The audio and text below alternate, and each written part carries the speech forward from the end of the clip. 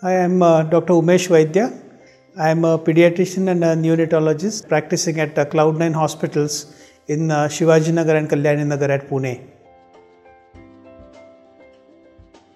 Newborn babies in the first six months of life do not need any water.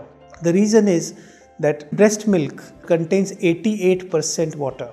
So, even in the very warm seasons, it is not advisable to give any water to babies. However, when you start complementary food for these babies at around 6 months of age, that is the time that most babies would be introduced with water.